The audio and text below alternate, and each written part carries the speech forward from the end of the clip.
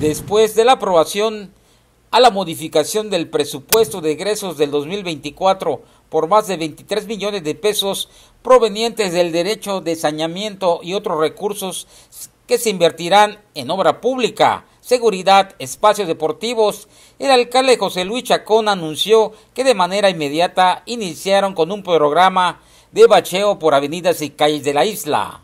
Dijo que repavimentarán las calles de la colonia 10 de abril que ha sido descuidada por años. De la eh, Boulevard hasta la 39, sobre la 30, programa de bacheo. De la 65, eh, todas las 65 también estamos aplicando bacheo, porque hoy el tema no está permitiendo. Porque tenemos el material ahí asentado y ahora lo estamos comprando. Pero también vamos a comprar más material.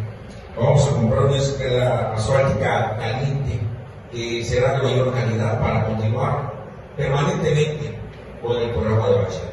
Vamos a pavimentar la colonia de abril en dos diferentes rubros, con cerca de 7 millones de pesos.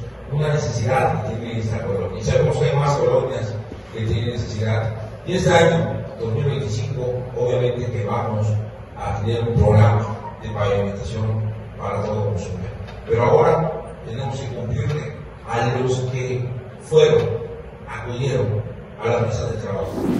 Para Canal 10, Jorge Q. Imágenes, Iván Maldonado.